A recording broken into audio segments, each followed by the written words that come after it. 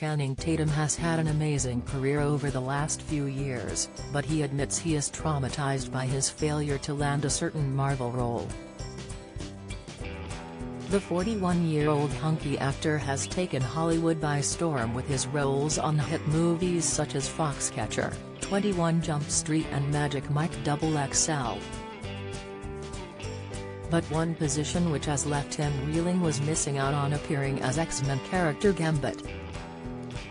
The star was reportedly set to feature in a film back in 2014 with the character reportedly set to have his own solo movie but the production never came to fruition and now Channing has claimed it left him so traumatized that he couldn't watch any other movies in the franchise.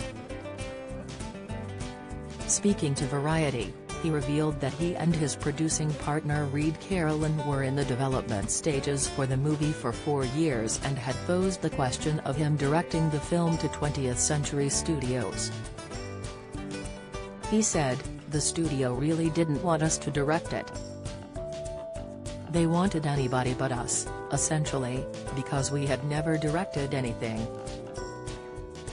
He went on to admit he'd have happily forgot about directing the film if it meant he could still play the role because he simply loved the script.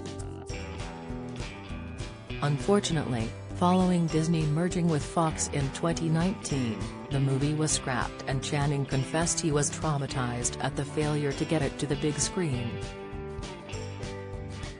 He complained, once Gambit went away, I was so traumatized. I shut off my Marvel machine.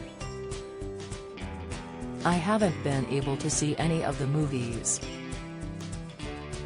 I loved that character. It was just too sad. It was like losing a friend because I was so ready to play him. Channing admitted he was looking forward to portraying the character's cool factor, describing him as flamboyant. He continued, he was just the coolest person. He could pull anything off. Most superheroes, their outfits are utilitarian. Batman's got his belt. Gambit's like, no, this SS just fly, bro. This S walked down the Paris runway last year.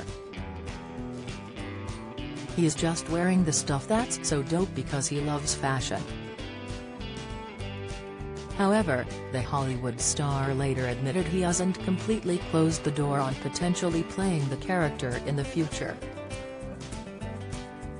He revealed he would still love to play the role of Gambit but admitted he doesn't feel as though his team should direct it. Reid agreed, saying, I wish they would reconsider because it's a pretty great project. Maybe someday. Do you have a story to sell? Get in touch with us at webcelebs at trinitymirror com or call us direct 0207 29 33 33.